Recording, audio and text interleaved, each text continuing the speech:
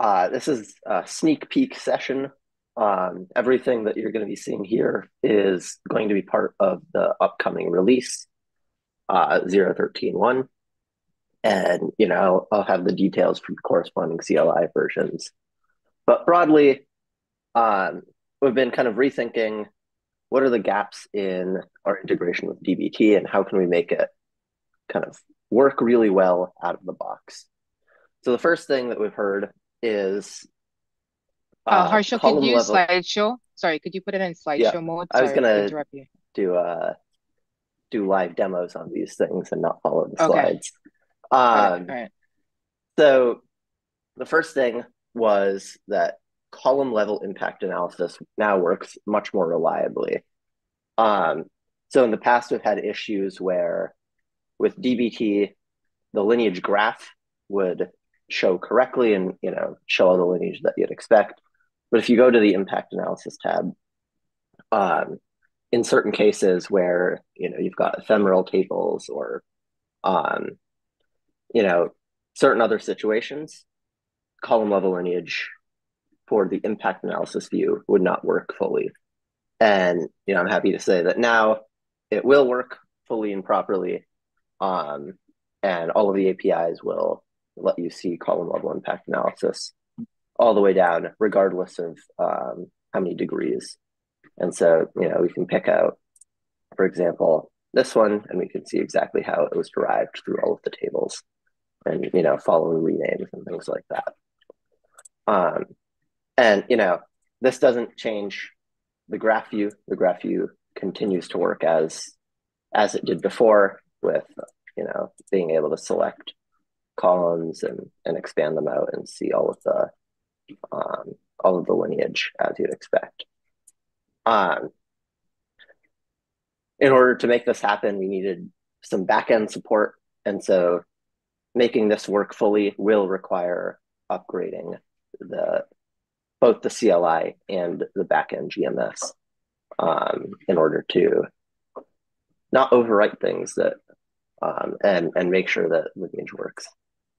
The second is the second thing we heard is, hey, like, you know, great that I can see all of the DBT models, but I want to also understand how frequently are they run? Do I have changes in the duration of how long they take to build? Um, particularly for, you know, when when making changes to models, often you can see duration spike from, you know, a couple seconds to, you know, many minutes. And often it's very easy to miss those if, if you're just running these things in Airflow or in CI. And um, this way you can kind of surface all of that information right in the UI, understand what's happening, um, see if there's any failures, if there's any changes in duration, um, if there's any skips in, in timestamps. Um, and this really just pushes us towards better monitoring and better observability across your data ecosystem. And the final thing are a couple small quality of life improvements.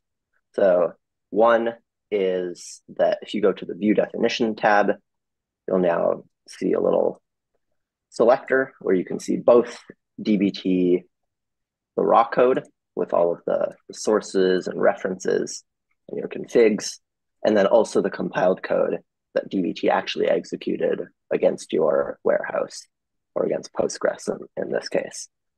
Um, we've also made a number of improvements to the ability for us to support multi-project setups. So in, in multi-project setups where you have you know, models from one DBT project used as sources in the downstream, um, often this composed of section becomes kind of unwieldy because it shows both the Postgres table, the DBT model, and all of the sources. Um, and it becomes pretty hard to navigate throughout the UI.